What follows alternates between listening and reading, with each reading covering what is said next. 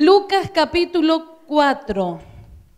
Y vamos a leer del versículo 16 en adelante. Y dice,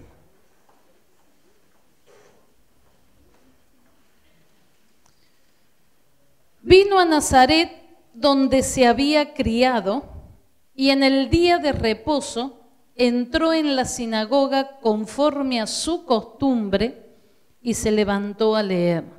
Y se le dio el libro del profeta Isaías y habiendo abierto el libro halló el lugar donde estaba escrito. El Espíritu del Señor está sobre mí, por cuanto me ha ungido para dar buenas nuevas a los pobres, me ha enviado a sanar a los quebrantados de corazón, a pregonar libertad a los cautivos y vista a los ciegos, a poner en libertad a los oprimidos, a predicar el año agradable del Señor. Y enrollando el libro, lo dio al ministro y se sentó. Subraya esa expresión y se sentó. porque no tiene nada que ver con el comienzo cuando dice se levantó a leer. Él cambió de lugar. Y sigue diciendo, versículo 21, y comenzó a decirles, hoy se ha cumplido esta escritura delante de vosotros. Y todos daban buen testimonio de él y estaban maravillados de las palabras de gracia que salían de su boca y decían, ¿no es este el hijo de José? Él les dijo, sin duda me diréis este refrán, médico, cúrate a ti mismo. De tantas cosas que hemos oído que se han hecho en Capernaum, haz también aquí en tu tierra. Y añadió, de cierto os digo que ningún profeta es acepto en su propia tierra. Y en verdad os digo que muchas viudas había en Israel en los días de Elías, cuando el cielo fue cerrado por tres años y seis meses y hubo una gran hambre en toda la tierra. Pero a ninguna de ellas fue enviado Elías, sino a una mujer viuda en Sarepta de Sidón. Y muchos leprosos había en Israel en tierra del profeta Eliseo, pero ninguno de ellos fue limpio sino Naamán el sirio. Al oír estas cosas, todos en la sinagoga se llenaron de ira y levantándose, le echaron fuera de la ciudad y le llevaron hasta la cumbre del monte sobre el cual estaba edificada la ciudad de ellos para despeñarle mas él pasó por en medio de ellos y se fue. Hasta allí la lectura de la palabra. Y quiero que ponga atención y que en su mente usted trate de imaginar ese momento en que estaba ocurriendo esto. Era día de reposo, que comúnmente la Biblia dice que el día de reposo es día sábado, pero no es día sábado, el día de reposo se llama Shabbat. Es el único día al que Dios le dio nombre. Todos los demás días de la semana se mencionan por número. Primero, segundo, tercero, cuarto, quinto, sexto. Y el séptimo día, que es el día de descanso, es el Shabbat, no es el sábado. Está mal traducido sábado, aunque nosotros digamos sábado, pero es importante que usted tenga en su mente el conocimiento de que el día de reposo es Shabbat, no sábado. ¿Se entiende esto? Entonces entra Jesús y me gusta esto. En el día del reposo entró en la sinagoga conforme a su costumbre. Nosotros tenemos que entender esto. Jesús no faltó ni siquiera a un solo precepto a un solo mandamiento en cumplir lo que el Padre ordenó. Por eso la Biblia nos enseña que nuestro modelo a seguir es Jesucristo, porque todo lo que Él pide y todo lo que Él demanda, Él lo cumplió primero. ¿Me está entendiendo? Entonces Jesús fue obediente conforme a la ley judía, conforme a la costumbre que tenía, todos los días de reposo, días de Shabbat, él entraba a la sinagoga a qué? Y a hacer lo que se hace hasta el día de hoy. Los judíos, los mesiánicos, aún los que no son mesiánicos, aún el día de hoy entran a la sinagoga el día sábado para nosotros, en nuestro almanaque, día de reposo, entran a qué? Precisamente a tener meditación y palabra con el Señor. Mientras el mundo entero y dentro de ese mundo entero también estamos los cristianos, ¿cuántos el día de reposo entran a la congregación, al templo, a buscar de Dios? ¿Cuántos lo hacemos? Muchos siguen trabajando sábado, muchos siguen trabajando domingo y muchos le siguen faltando al Señor la búsqueda que Dios demanda. Entonces, si Dios dijo, habla del Shabbat, es porque tiene que haber todavía una búsqueda mayor en el día de reposo. Y Jesús entró a la sinagoga. Estaban todos los judíos sentados así como usted. Y él entró y se sentó en un lugar cualquiera. Ponga atención acá. Se sentó en un lugar cualquiera. Pero en la sinagoga de Jerusalén había una silla siempre vacía. Siempre vacía. Entró Jesús y esa silla seguía vacía. Él se sentó en cualquier lado. Pero era costumbre que siempre un judío pasara, abriera el rollo, no la Biblia, porque tampoco esto era existente en aquel momento, abría el rollo y un judío daba una palabra, meditaba y daba una palabra. Y ese día que Jesús entra al templo, dice, se paró y fue a leer una palabra. Sígame en esto porque es sumamente importante.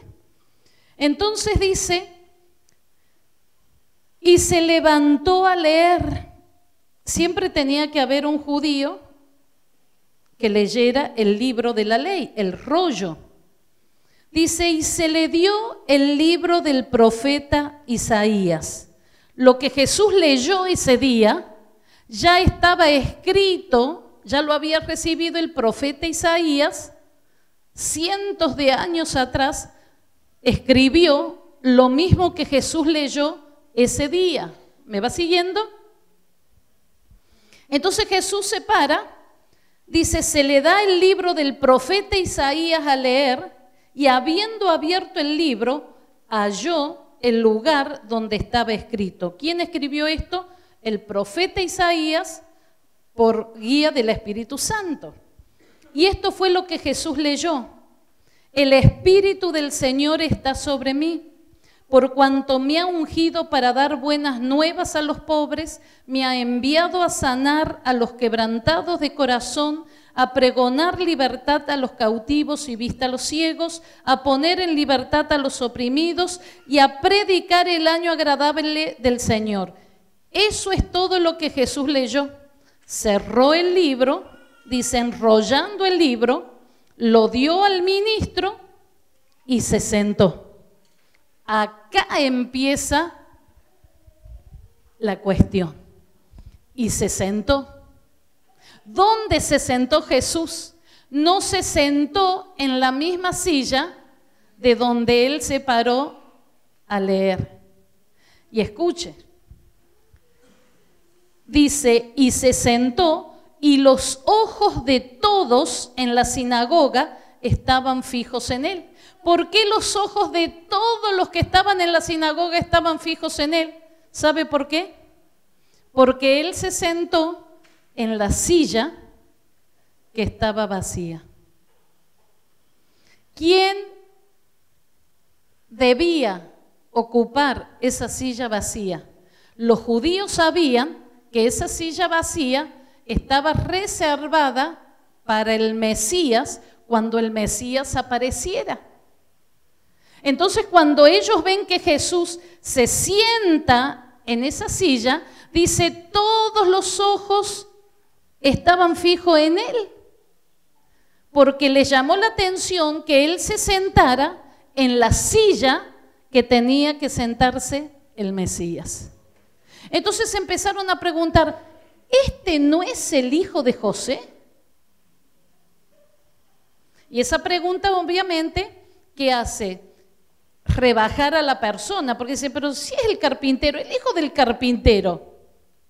Entonces ya empezaron a cruzárseles los ojos a los judíos, porque ellos sabían que esa silla era reservada para el Mesías. Siempre estaba vacía hasta que el Mesías venga y se siente. Esa era la prueba de que esa persona era el Mesías. Claro, viene Jesús, lee lo que el profeta habló de él, deja el rollo y se sienta en la silla vacía. Entonces todos se miraron, porque todos sabían que esa silla era para el Mesías. Y él no estaba considerado como Mesías. Él era considerado el hijo de José. ¿Me va siguiendo? Entonces, dice el versículo 21, y comenzó a decirles, hoy se ha cumplido esta escritura delante de vosotros. ¿Qué le estaba diciendo con esa declaración? Les estaba diciendo, yo soy el Mesías.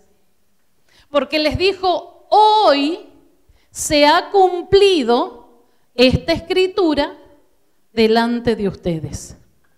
Estaban viendo la palabra cumplirse delante de ellos, pero ellos no lo creyeron, pero ellos no lo entendieron no entendieron que cuando el profeta Isaías recibe esa palabra, estaba hablando del Mesías. Y era el Mesías quien estaba tomando el rollo de la ley para leer lo que el profeta Isaías había escrito. Por eso Jesús le tuvo que decir, hoy se ha cumplido delante de ustedes esta profecía. Entonces, imagínense no entendían ni medio. Y sigue diciendo el 22. En un comienzo, todos daban buen testimonio de él y estaban maravillados de las palabras de gracia que salían de su boca y decían, ¿no es este el hijo de José? Y él les dijo, sin duda me diréis este refrán, médico, cúrate a ti mismo de tantas cosas que hemos oído que se han hecho en Capernaum, haz también aquí en tu tierra. Recuerde que él venía, vino nuevamente a Nazaret, como dice acá la palabra de Dios, vino donde se había creado, criado, pero ¿qué dijo la Biblia? Dice que ahí no hizo muchos milagros a causa de la incredulidad de la gente. Entonces nunca usted va a ver que se cumple la palabra, como dice la escritura, nunca un profeta tiene honra en su propio lugar. Por eso usted va a ver gente que triunfa en otros lugares y nunca en su propia tierra, porque generalmente, y así se tiene que cumplir, es bíblico. Ni siquiera Jesús recibió honra en su propia tierra. Por eso es que no lo valoraban, no lo consideraban y siempre lo llamaban el hijo de José, el hijo del carpintero, como algo menor. Entonces sigue diciendo y añadió, de cierto os digo que ningún profeta es acepto en su propia tierra. Y en verdad os digo, ahora quiero que ponga atención a esto. Fíjese lo que Jesús sigue diciendo. Y todo esto fue haciendo enojar a los judíos en verdad os digo que muchas viudas había en Israel en los días de Elías, cuando el cielo fue cerrado por tres años y seis meses y hubo un gran hambre en toda la tierra, pero a ninguna de ellas fue enviado Elías, sino a una viuda en Sarepta de Sidón. Todos conocemos esa historia, ¿verdad? Y Jesús le dijo una gran verdad. Y esto es lo que quiero que ponga atención. Antiguamente, el Espíritu venía sobre alguien y cuando el Espíritu venía sobre la vida de alguien era para hacer algo en la vida de uno solo. No en la vida de un pueblo, no en la vida de una congregación, no en la vida de muchos. ¿Me va siguiendo? Cuando Dios habló al profeta Elías para que vaya a bendecir a la viuda de Sarepta, Jesús le dijo, muchas viudas y pobres que no tienen para comer había en Israel. Pero Dios mandó al profeta a una sola. ¿Cuántas recibieron la bendición? Una. Todas las demás siguieron siendo pobres y siguieron teniendo necesidad de pan. Ahora, parecería injusto, pero esa es la diferencia que usted tiene que entender hoy.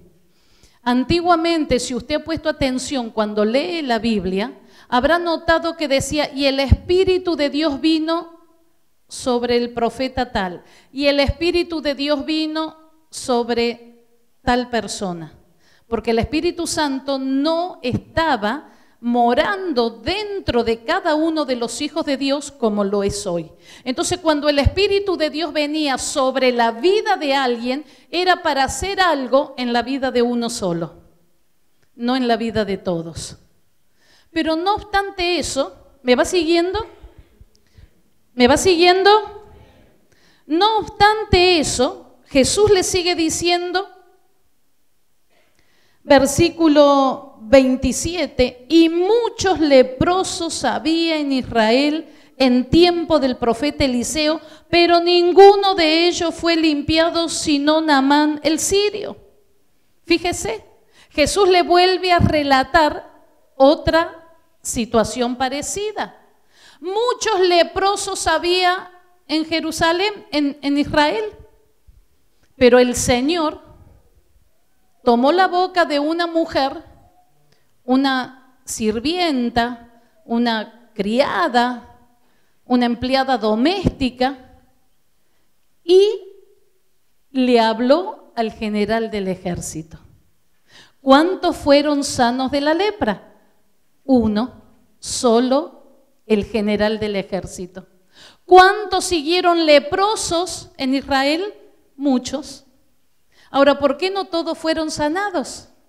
Porque el Espíritu de Dios no iba para todos. ¿Me va siguiendo? Entonces, cuando Jesús le dice esto, ¿por qué Jesús relata estas dos historias? Porque Él le quería hacer entender que la escritura se estaba cumpliendo en él cuando le dijo, hoy se ha cumplido la escritura delante de vosotros, cuando el Señor dijo, el Espíritu de Dios está sobre mí y me envió para curar, para sanar, para libertar, para dar vista, para hacer todo lo que él mismo dijo, ahora la bendición venía para todos los que la quisieran recibir. Ya la bendición de Dios no venía para uno solo.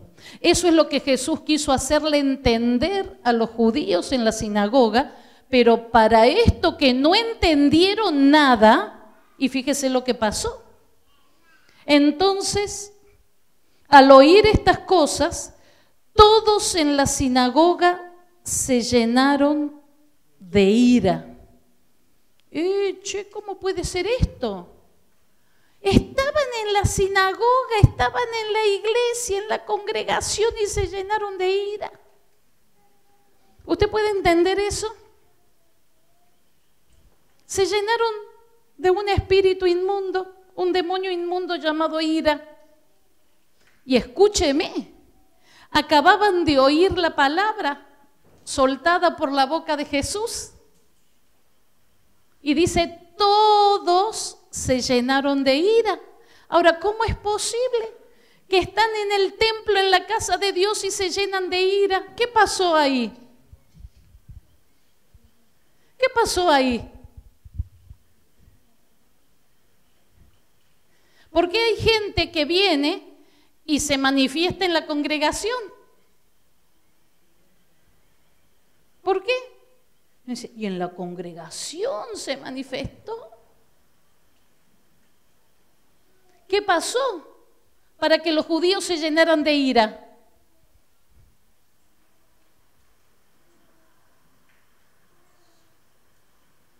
¿No sabe qué pasó? ¿Qué pasó?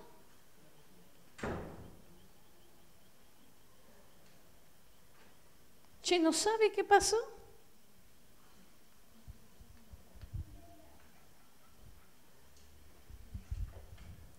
Qué feo si no sabe qué pasó.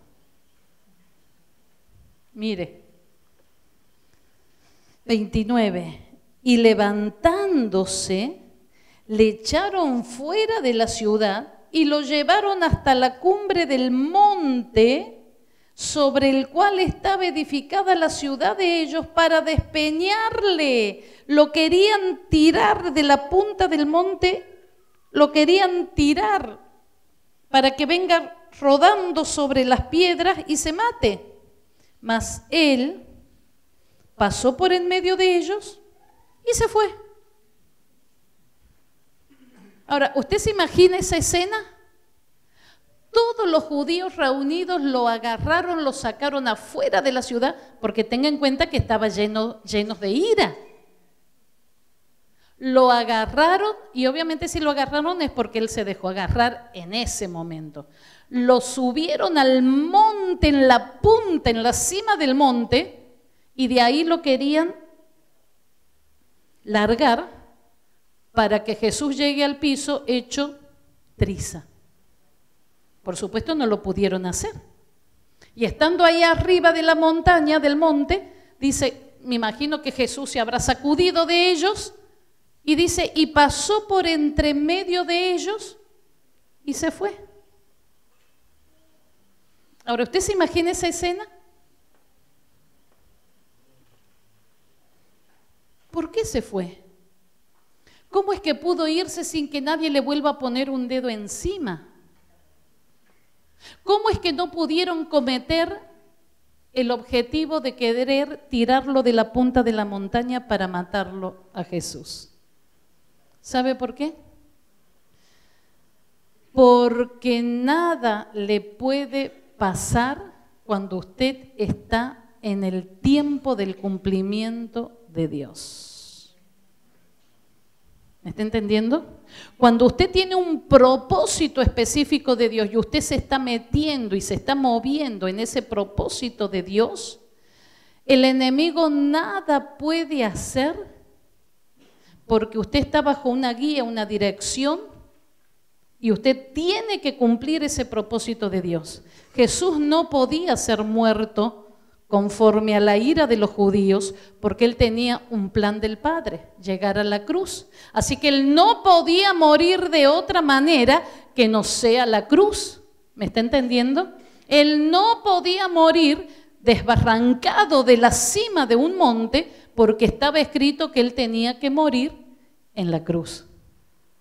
Entonces, si está escrito el cumplimiento de lo que usted tiene que hacer, sepa que el enemigo puede perturbar, puede molestar, pero no puede pasarle nada si usted tiene un propósito de Dios que cumplir.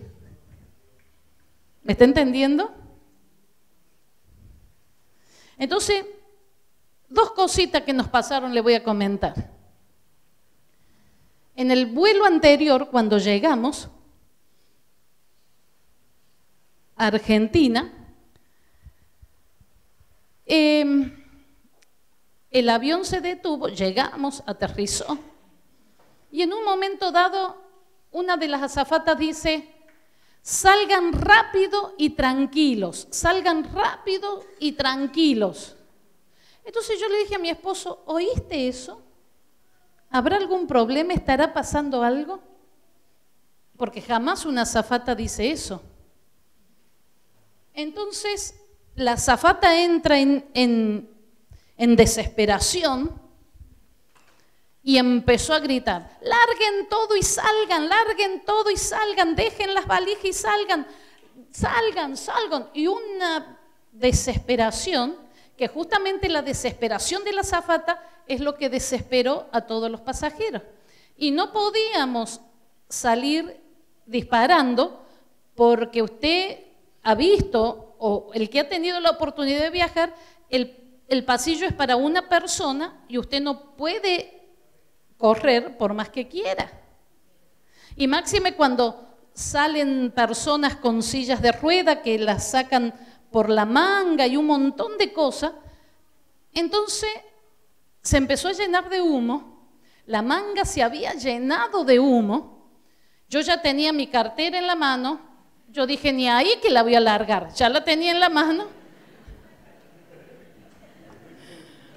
Así que dejamos, largamos dos valijas y salimos. Y todo el mundo tenía que salir disparando. Fue la manga más larga de mi vida, mire.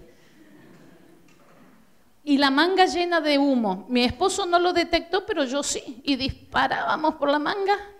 Llegué al aeropuerto sin sangre, sin, sin aliento.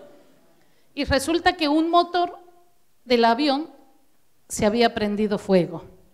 Ya para cuando bajamos ya estaban los bomberos, se solucionó todo. Pero después yo me puse a pensar si eso pasaba en pleno vuelo. ¡Achalay!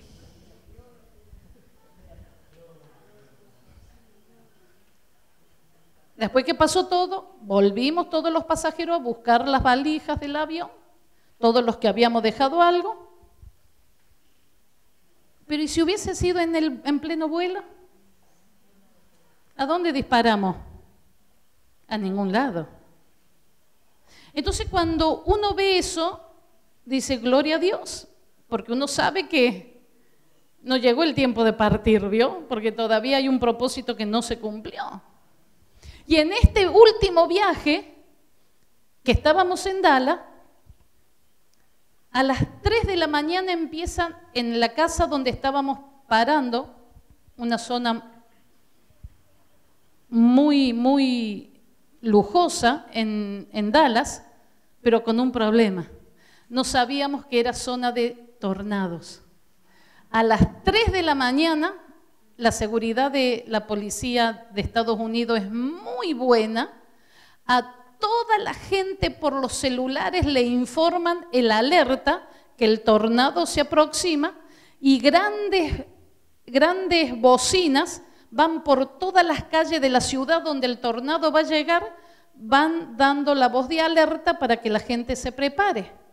Entonces a mi esposo le entra un mensaje de la policía de allá que el tornado viene y a todos los integrantes de familia y a toda la gente, no entendíamos qué pasaba. Entonces la gente de la casa empieza a decir, bajen, bajen, así que nos cambiamos, bajamos porque los que están arriba tienen que quedarse abajo, no pueden quedar arriba, porque hay una serie de requisitos que cumplir cuando el tornado viene.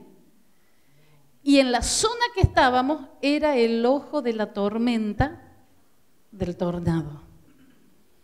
Así que dijimos, chala, ¿y qué hacemos acá? Papito. Así que nos pusimos a orar.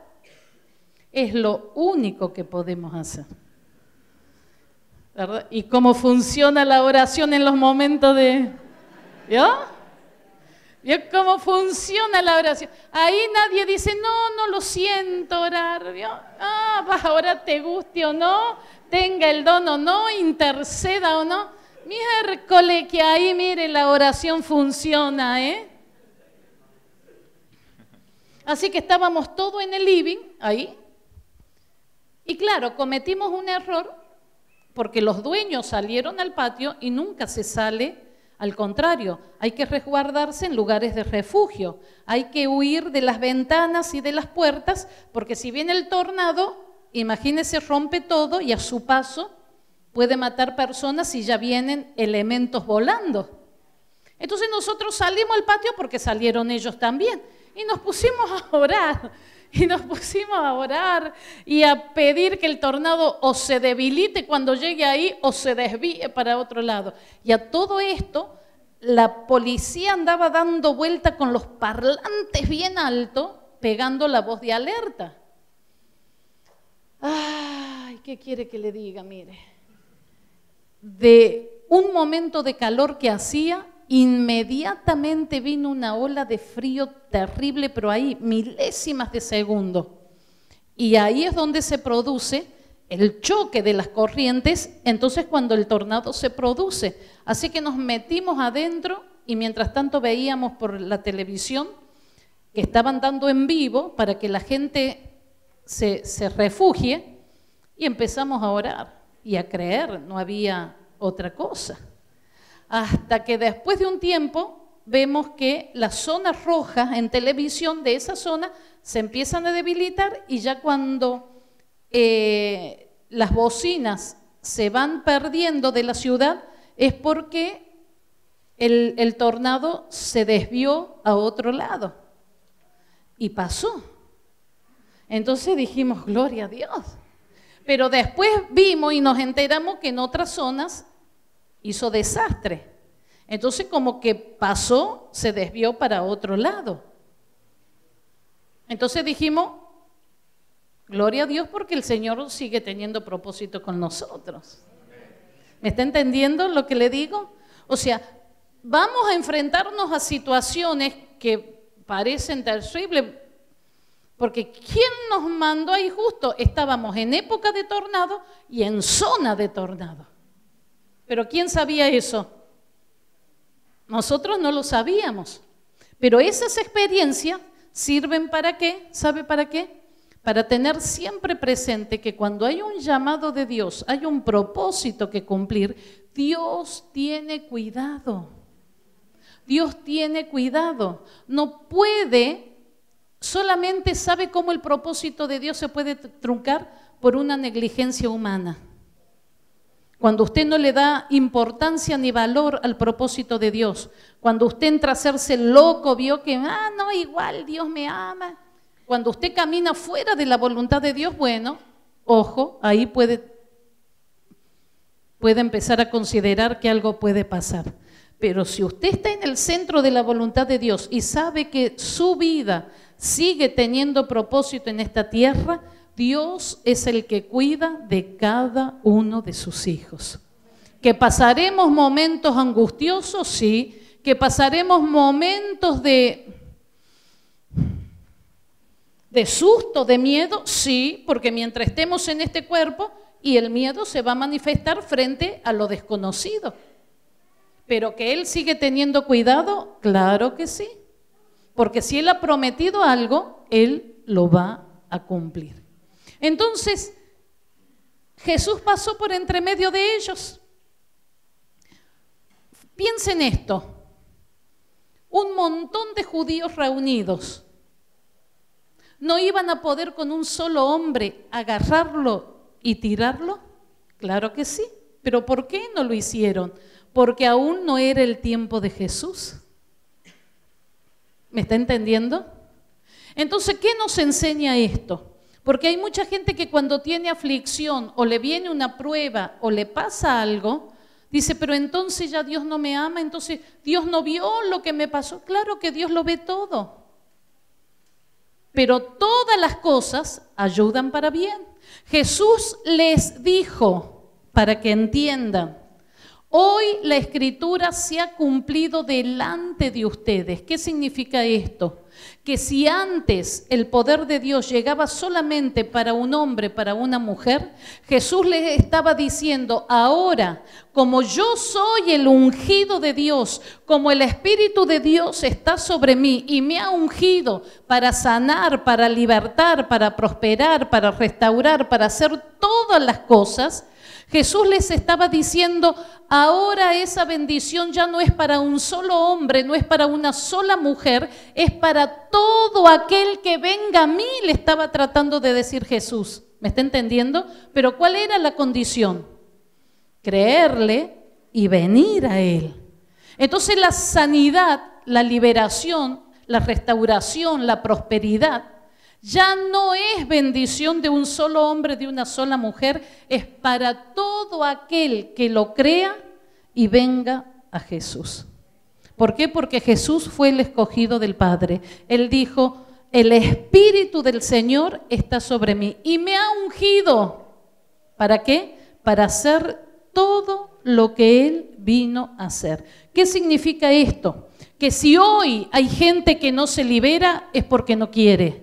Que si hoy hay gente que no recibe sanidad es porque no cree. Que si hoy hay gente que no es prosperada es porque no recibe. Que si hoy hay gente que tiene de parte de Dios todas las condiciones para restaurar su hogar, su familia, su matrimonio y no lo hace, es porque no quiere. Porque Jesús dijo, el Espíritu está sobre mí. ¿Me está entendiendo? Entonces cuando encontramos gente hoy que pasa años sin liberarse, años sin restaurar su familia, años viviendo en la misma necesidad, en la misma miseria, no es problema del Señor. Es problema del hombre problema de la mujer. Porque Jesús dijo, el Espíritu de Dios está sobre mí y me ha ungido. No dijo, me va a ungir según la circunstancia. Dijo, me ha ungido. ¿Para qué? Mire, vuélvalo a leer, versículo 18. Para dar buenas nuevas a los pobres ¿Cuáles son las buenas nuevas que hay que darle a los pobres?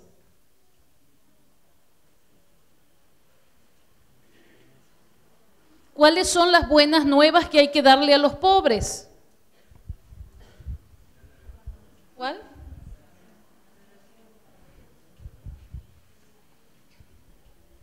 ¿Cuáles son las buenas nuevas que hay que darle a los pobres?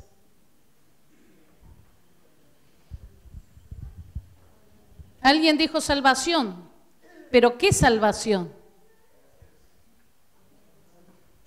¿Qué salvación? Porque salvación no es solamente perdón de pecados, salvación también es libertad de la esclavitud financiera, libertad de la ruina, de la miseria, de la pobreza. Entonces, si Él fue ungido para dar buenas nuevas a los pobres, entonces, ¿por qué hay gente que sigue padeciendo lo mismo de toda la vida? Medite.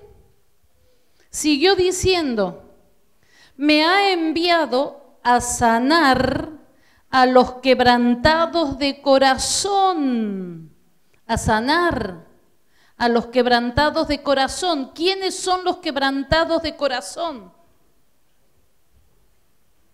Dijo a sanar a los quebrantados de corazón. ¿Quiénes son los quebrantados del corazón? Aquellos que vienen arrastrando odio, raíz de amargura, falta de perdón, aquellos que vienen arrastrando un odio de la vida que llevaron de niño, la vida que le dieron sus padres, o el abandono que vivieron, o el abuso que vivieron, o el hambre que vivieron. Dice a sanar. ¿Qué significa esto? Que el que hoy no sana su corazón de todo lo malo es porque no quiere, no porque no puede, no quiere. Y yo sé y entiendo que hay cosas difíciles, pero no imposibles para Dios. Porque un cristiano no puede estar toda la vida diciendo, pero mi papá me abandonó. Jesús fue ungido para sanar a los quebrantados de corazón. Entonces el que no sana su corazón es porque no recibió nada de Jesús.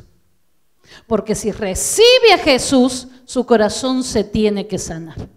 No puede haber aquí cristianos que digan yo soy hijo de Dios. No puede haber cristianos que estén sirviendo al Señor y que tengan su corazón sin haber sanado. Entonces no conoce a Jesús. ¿Me está entendiendo? Usted no puede llamarse cristiano, no puede llamarse hijo de Dios y seguir teniendo dolor, angustia, odio en su corazón por algo que viene arrastrando de hace 30, 40, 50 años, 10, 5 o lo que fuere. ¿Me está entendiendo? Porque Jesús dice, fui ungido para sanar a los quebrantados de corazón. Entonces, ¿quién nos sana su corazón? Y el que no quiere recibir la unción del Señor para esa área de su vida. ¿Me está entendiendo? Porque parece masoquista, algunos parecen masoquistas. Les gusta estar metiendo el dedo en la llaga y lo que me pasó y lo que me hicieron y usted no sabe y esto. Pero córtela ya. ¿Para qué está Jesús? Para sanar a los quebrantados de corazón. Ahora, ¿cómo van a ser sanos? Viniendo a Jesús. ¿Quién no se sana? El que no viene a Jesús. Esto es simple. ¿Me está entendiendo?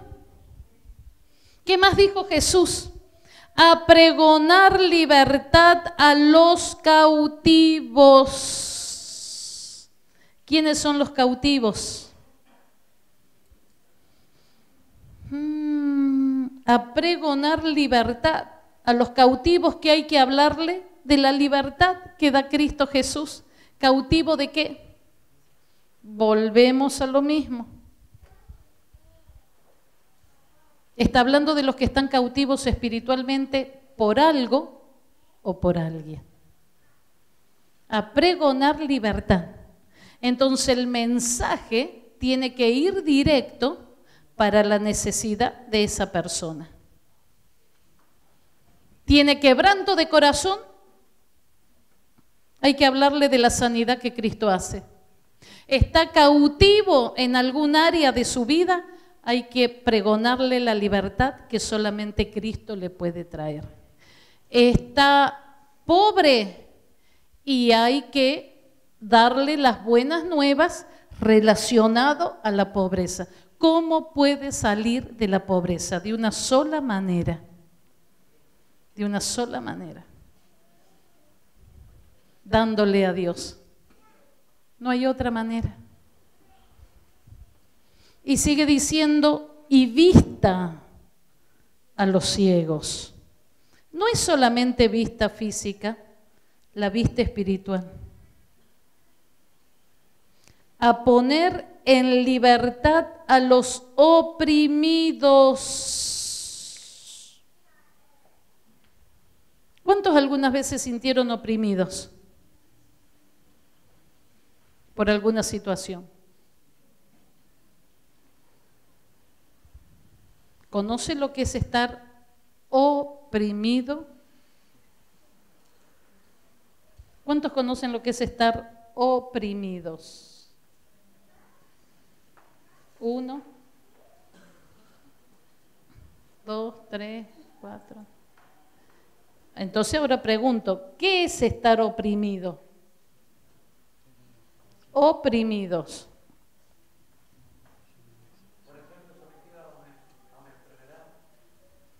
sometido a una enfermedad, por ejemplo. ¿Los demás qué dicen?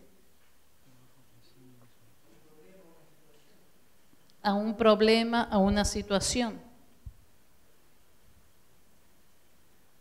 ¿Y qué experimenta un oprimido?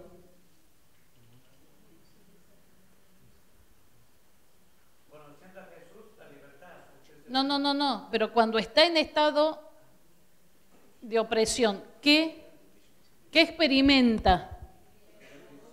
Angustia, dijeron por acá.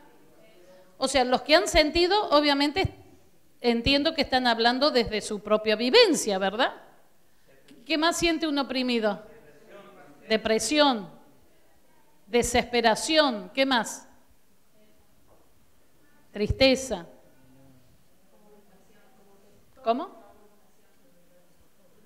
Frustración, ¿qué más? Fíjese todo lo que dijeron, ¿no?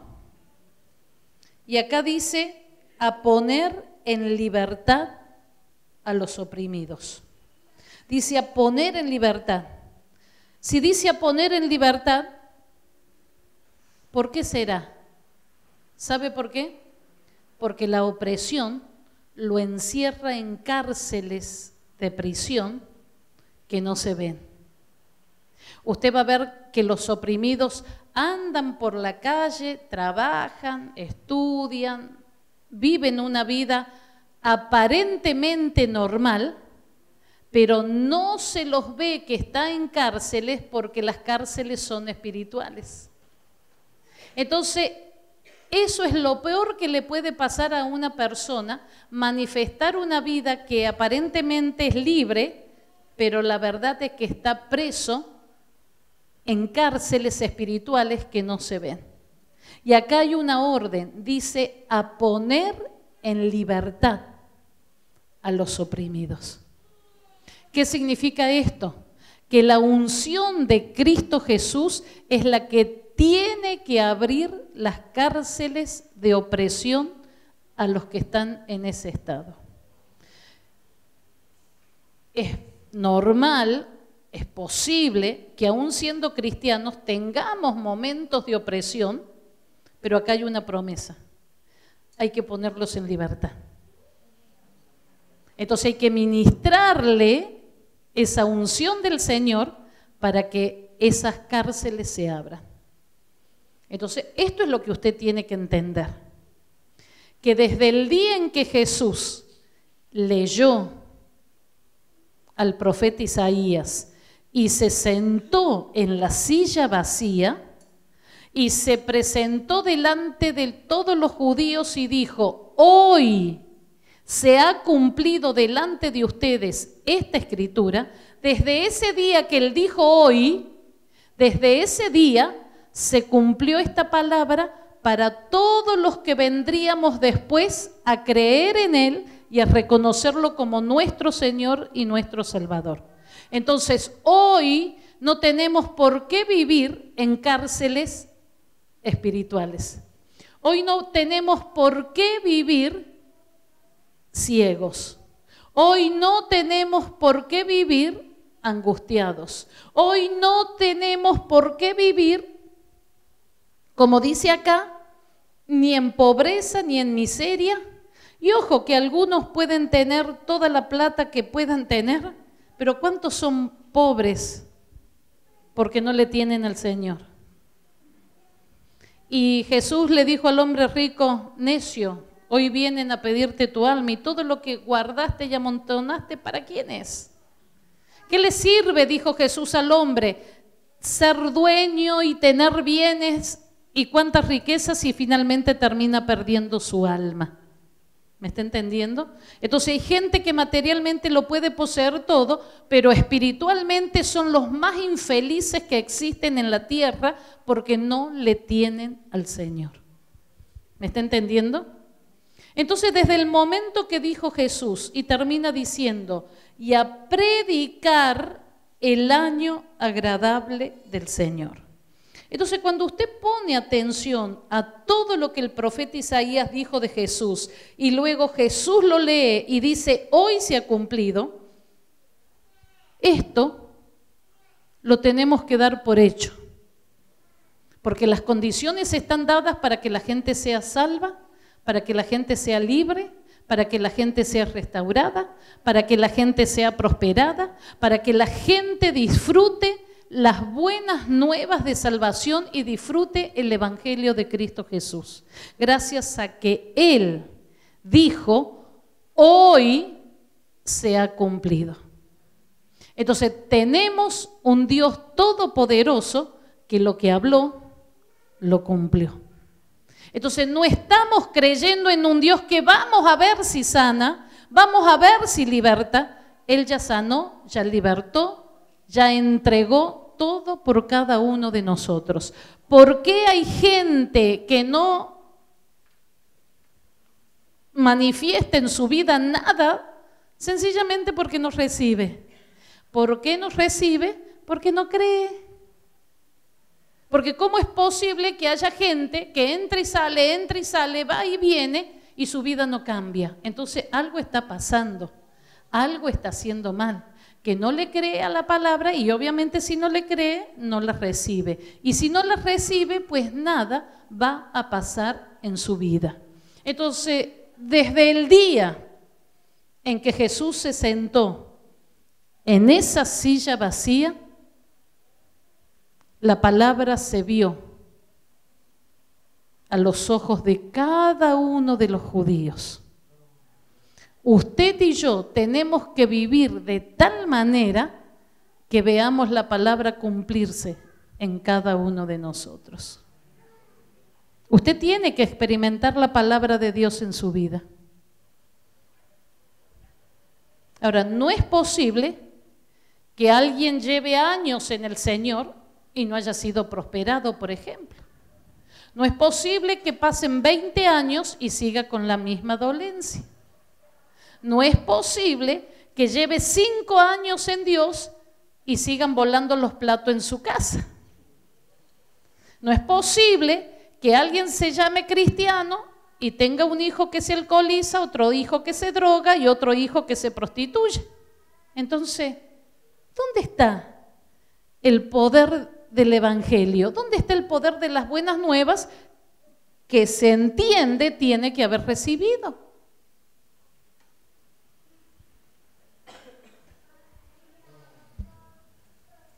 ¿Me está entendiendo? Entonces, las buenas nuevas no es para que usted venga a hacer vida social los domingos a la iglesia. Es para que usted viva el poder de Dios y lo vea en su vida. Claro, porque es muy fácil verlo en la vida del otro, ¿verdad? Es muy lindo ver cómo el Señor sana al hermano, restaura el matrimonio, pero cuando llega usted dice, y yo no sé, la verdad que... Es muy fácil creer para otros, pero cuando usted tiene que creer para usted, ahí es donde cuesta y yo no sé si Dios lo hará. Y termino con esto. Mas él, versículo 30, pasó por en medio de ellos y se fue. Y se fue obviamente hasta que tuvo que seguir cumpliendo otras situaciones hasta que se le cruzó otro por el camino y lo sanó y operó milagros y siguió haciendo lo que él tenía que hacer. Pero note esto, lo que usted y yo debemos aprender, a no permitir y a no dejar que la incredulidad de otros afecte el propósito de Dios en mi vida. Esto significa que el primero que tiene que creer en el propósito de Dios para su vida es usted. Si usted cree y camina por ese propósito de Dios, no importa como el caso de los judíos que se llenaron de ira contra Jesús, que lo maltrataron, que lo quisieron desbarrancar, él siguió. Entonces, A Jesús le quisieron cortar la vida y no más, pero había propósito de Dios. Él no podía morir de otra manera que no sea la que estaba escrita. ¿Me está entendiendo? Él no podía morir de otra manera. Entonces, si alguien le quería dar muerte que no fuera la de que estaba establecida por el Padre, era antibíblico, no podía suceder. ¿Esto qué significa? Que usted puede tener algún problema, pero no quiere decir que ese problema a usted le tiene que cortar el propósito de Dios. Es una prueba que usted tendrá que sobreponerse, pasarla y seguir mirando al propósito que Dios tiene en su vida. No espere servir a Dios sin problema, porque eso es antibíblico, no existe. No espere tener el camino lleno de pétalos de rosa para servir al Señor, porque eso es antibíblico, no existe. ¿Me está entendiendo? ¿Va a tener problemas? Claro que los va a tener. Pero si usted está en el propósito de la voluntad de Dios, usted sabe que eso, como ya dije en otra predicación, eso tiene que pasarlo y seguir hasta el cabal cumplimiento de la palabra. Dice, Jesús pasó por en medio de ellos y se fue. ¿Qué significa eso? Que usted tiene que pasar por en medio de los problemas y seguir hacia el propósito de Dios. Usted no se puede quedar detenido. Entonces, no permita que la incredulidad del otro afecte el propósito de Dios en su vida.